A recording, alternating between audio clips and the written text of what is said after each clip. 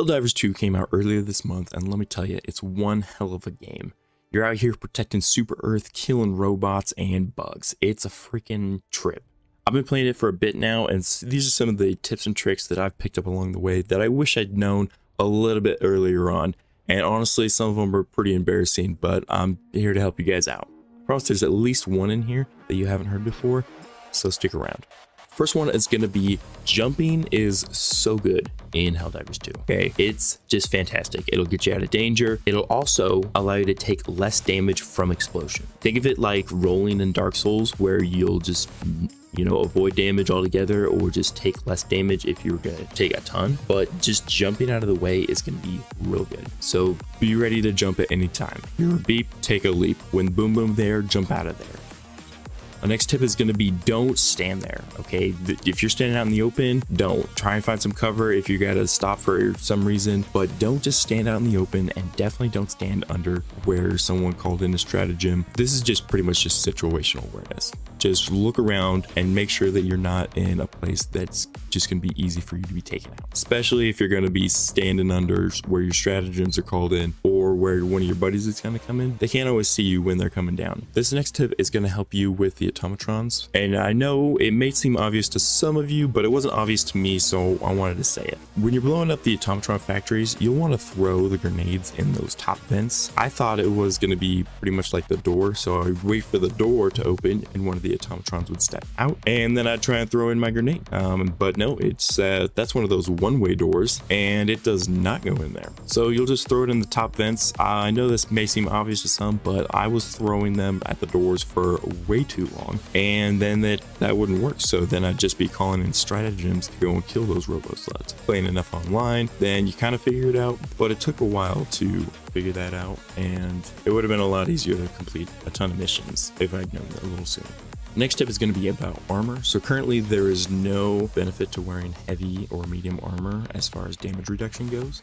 You'll definitely have whatever perks they come with, but there's not going to be really any extra protection that are given to them. But you know what is extra protection? Better speed from wearing light armor. That's going to be biggest benefit for you. And I would recommend wearing light armor above anything else, unless you've got some medium armor that's got some pretty good perks for whatever mission you're going on. They'll probably patch this in the future, but currently that's not working. So stratagems. For PC players, what you're going to want to do is change your stratagem keys from the basic ones to something something else. I've got a mouse with 12 keys on the side, and so I just programmed it to four of those buttons and holding down Q, and it's way better because you won't have to stop in the middle of the battlefield and get shot at while you're trying to call in, you know, some reinforcements or a support weapon or anything like that just changing it's going to make it just way better and you'll be able to continue at least walking while you're ordering stuff if you're on a playstation or something that's rough this next tip is also for pc players i've had this game crash a lot more than any other game i've ever played and part of the reason is because Helldivers 2 is an absolute hog when it comes to CPU usage. It's going to use up a lot more resources than you would expect.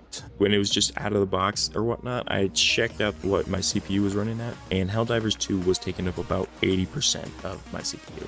I got a 10 gen CPU, but you know, been able to handle all these other games just fine. So after going over the settings and monitoring a little bit of those, just turning down everything to just a little bit lower, you don't really notice any difference turning down the settings in the game, but you'll notice that your game doesn't crash as often. And so I would definitely recommend that if you're, you know, plagued with this game always just booting you off and shutting out everything, um, just go ahead and turn down those settings. You know, it's better to be able to play the game at a little bit less quality than it is to be constantly frustrated by the game crashing whenever you're trying to launch a game. This next tip when you're coming in and you're reinforcing somebody, see if you can hit something on the way down. It's it's honestly hilarious to be able to crush something on the way down, and that's just a free kill. I've destroyed automaton factories, I've destroyed scout striders, berserkers. I haven't played too many of the bug matches so far, but you can even take out devastators with these. And if you can't take out a Hulk with it, you can at least land right behind him and then shoot him right in the weak spot. You could also land behind tanks and shoot him in the weak spot as well. I've had people land on tanks and it doesn't help, but you know. It'll also do a lot of damage to the Bile Titans if you crash through them. It won't kill them on the first hit, but you know. All right, this next tip is another one about strategy. Essentially, get that mortar turret. That mortar sentry is going to help you so much. It's really going to help you on the defending missions. You can just set it up in the back lines and sort of just forget about it. The amount of time that you can just chill because it's taking out drop ships, it's just blowing up everything on the battlefield. It's an easy way to farm XP as well because you can just launch into one of those maps